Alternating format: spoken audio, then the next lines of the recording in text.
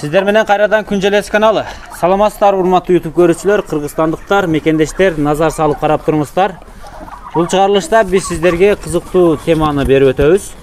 Анда эмесе мына ушул экран астындагы ак үндүктөр племенный үндүктөр сатыкка коюлуптур булардын ээси жылызбек байкебиз. Биз биринчи даректи түшүндүрөлү дагы андан кийин кызыктуу суроолорго өтөлү. Негизи бул бишкек шаарындагы жакынкы калуу конушу.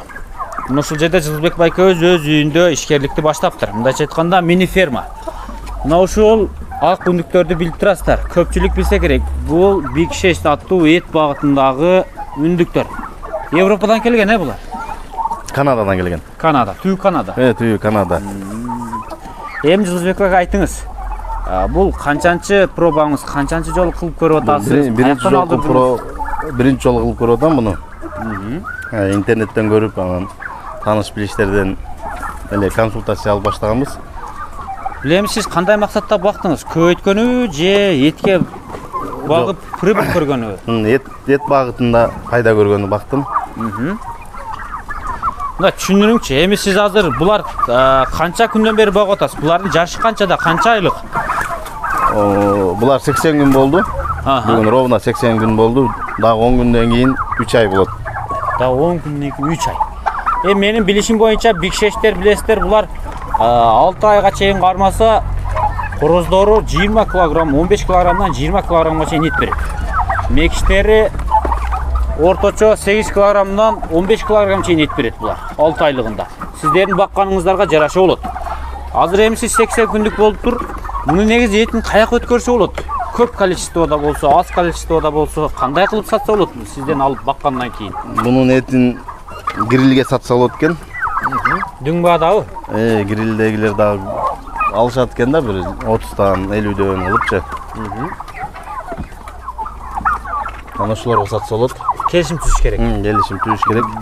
Азыр сизде канча баш бар эми? Төрт жүздөн ашыгыраак баш бар бул жерде.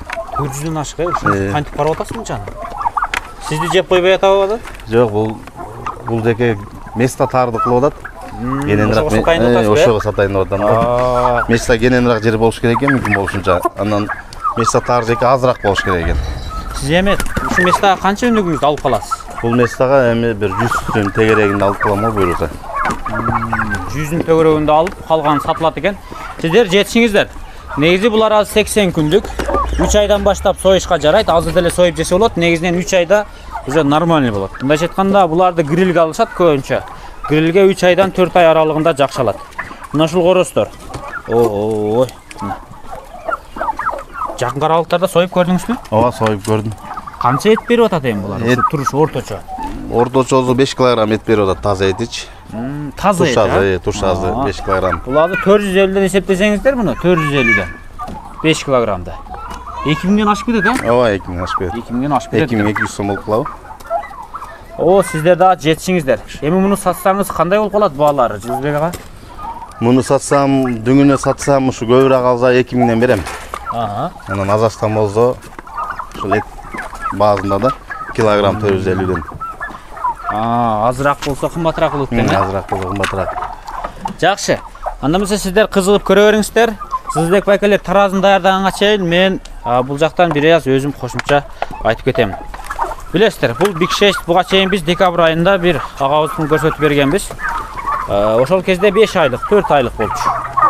Биз барганда короздору он эки он үч килограмм болду эле бир айдан кийин барганыбызда ошол он сегиз килограмм таза эт берип аткан живой вес жыйырма чыгып аткан эки жарым үч эки жарым үч килограммы алты айлыктардын отходко кетет сойгондон кийин а азыр канча болот жылызбек агадан сурайт жылызбек ага булардын отходу канча сойсо азыр азыр бир килограммдан бир жарым килограммга чейин болуп атыр да. Мына чоң коростторуңуз жети сегиз берип калат окшойт а? Ооба берип калат азыр таразага бир орточосун көрөбүз тартып бир орточосун ал мына мына коростор чоң экен да. Ушуларды алып бакса негизи билесиздер мен барганда ошол таксыр короздордун өзүнчө бөлүп огуп аткан кормгачы ошол коростор төрт ай беш айлыгында он жети он сегиз берет деген болчу. Кийинки барганда аларды союп салган болчу. Он сегиз он тогузга чейин берди деген. Мына ушундай сиздер дагы сексен күндүк алыңыздар багыңыздар бир ай бир жарым ай кармап туруп сиздер дагы этке же болбосо коңуш колонго сатыңыздар. Же болбосо күзгө чейин кармасаңыздар күздө мына этке жакшы өтөт Бул негизи жакшы, прибыльный.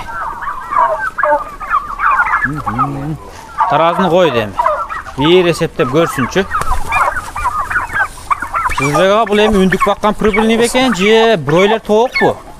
Кайсысы жакты сизге? Үндүктүн расходу көбүрөөк экен, пайдасы да ошого жараша көбүрөөк болот экен. Аа, Тиякта вес көрүнүп атабы я?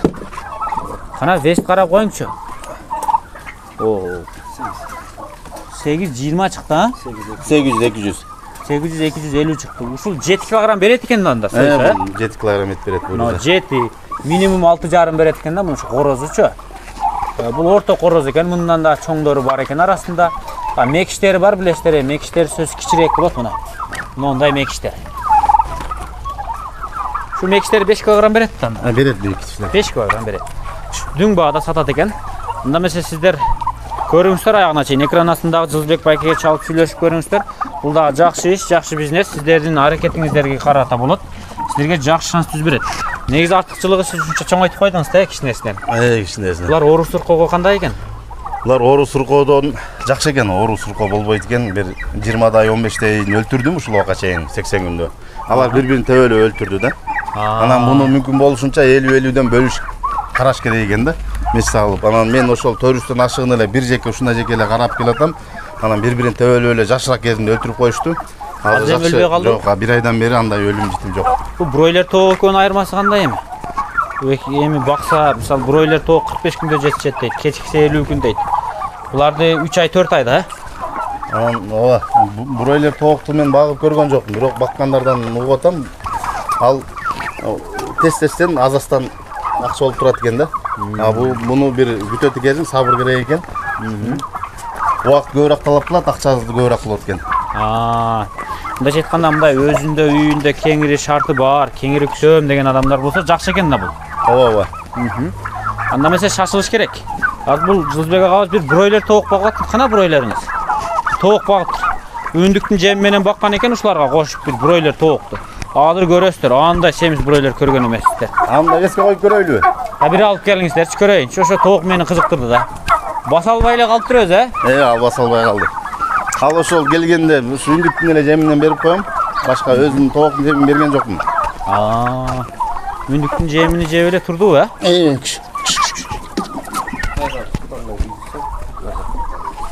Азыр булар эшикте жашап атабы? Тиги. Азыр эчте жашап атат. Мыналарды караңыздар, негизи жакшы экен. О, мына бройлер тоок. Баса албай эле калыптыр чиркине. Жаман, желкеси плашатка болуп калыптыр го үстү. Так, бул салмак канча экен? 4 килограмм 350 грамм. 4 килограмм 350 грамм. Бул сиздики өтө эле семиз экен да? Мына караңыздар, бройлер. Бул ушул үндүктүн жемин жеп эле өзүнүкүн берген жокмун, ошо үндүктөн калган жемдерди берип коем. Жакшы, жеткиле жакшы. Бул тоок отход канча? Эми 1 килограммга деле жетпесе керек булардын отход, э?